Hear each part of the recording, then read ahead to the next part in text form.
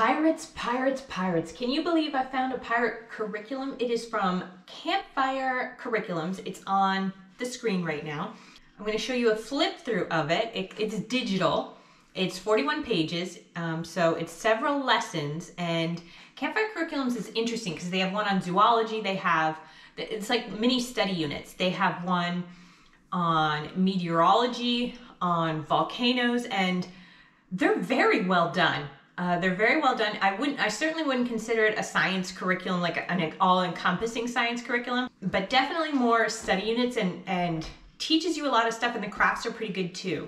Now, what I love about them is they have so every mini unit you buy. So this is the pirate one.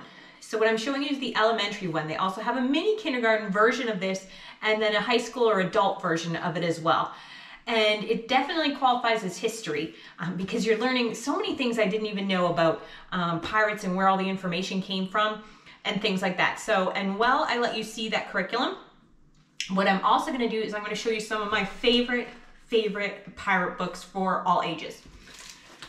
So, my kids love this one, Captain Jack. And there's this one, How to Be a Pirate. It's a sweet one. Now these are my absolute favorite and my kids love them too. This one is Pirate Girl. Um, I don't want to spoil it for you, but it, it's very interesting. It's a good read. I like it. This one I could not get enough of. This one I love. It's pirate versus pirate. And what's interesting is he has his boat and his crew and she has her boat and her crew and they compete on everything. And then they fall in love. I love it. I love it. This one is interesting. Not only does it rhyme, but it is so he's a pirate that's not allowed in the library, and she teaches him, she tells him that she's gonna help him find treasure.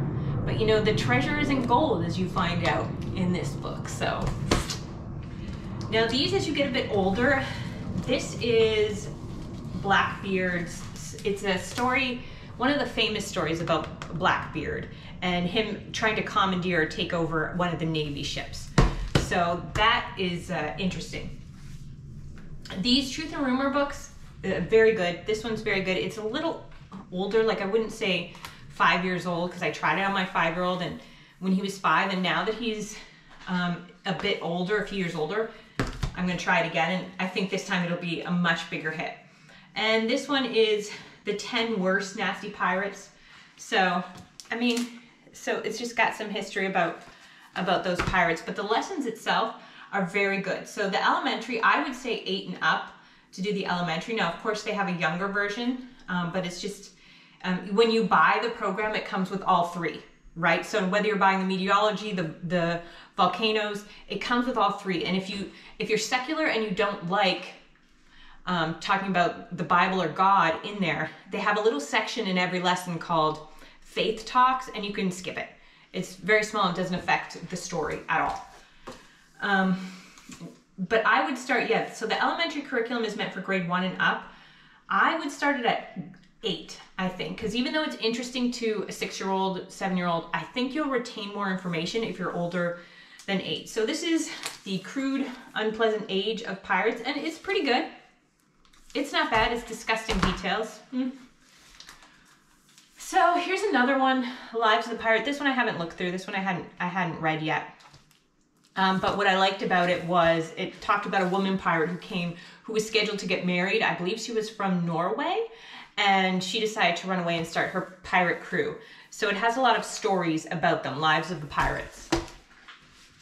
All right, now getting into more interesting pirate books would be, this one is by the people who did the Treehouse stories. It's it's a good reading level, I would say, for five, six, and seven. So it's got a lot of helpful information. This is a really cool book because you get to choose. Either you're on the big ship, you're on, like you're on the Navy side, or you're on a pirate side. So you get to choose um, which, I guess, who you are in the story, and it's like a choose your own adventure. Let me put that up close there for you to see it. Now these two books, this is really good. She, uh, she or he, I'm not sure, they, I have no idea who wrote this, but it's a year on a pirate ship. They also do a year in a castle and a year in a construction site. The year in the castle is really good too. The problem is, is the binding isn't that strong. So the year in the castle, eventually we just had to throw it out because I've taped it and taped it and taped it. And uh, this one's held up okay, um, but it is a year on a pirate ship, so it's, it's kind of interesting and cool in that sense. And this is uh, See Inside, Usborne See Inside the pirate ship one. It's good. I wouldn't buy this used because it has so many flaps. And on the screen too, what I'm gonna show you is I'm gonna, um, because I have, I have a channel and a kids channel and we go to different, we go to castles, we go to playgrounds, um, things like that. So we went to the Playmobil Playland and they had a giant pirate ship. So I take them on the tour of the pirate ship and while we're playing on the pirate ships and stuff, I talk a little bit about um, some interesting facts about pirates. Um, not too many, but it's still, it's kind of an interesting thing. So that's free um, as well. You could take a look at that. I'll put the link down in the description and uh, I'll put the picture up on the screen so you can see that. But I do like the campfire curriculums as far as as far as it goes. I think it's well priced. Normally, normally, like the last um, curriculum that I paid um, $20 for, I want to say $20 for, was, well, I'll put it on the screen. I think it's Be Curious.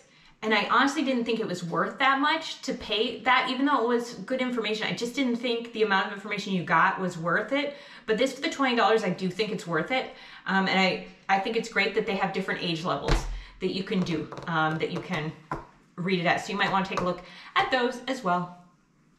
Can you say, please like and subscribe? Please like do right. And hit the bell for notifications. Bell you notification.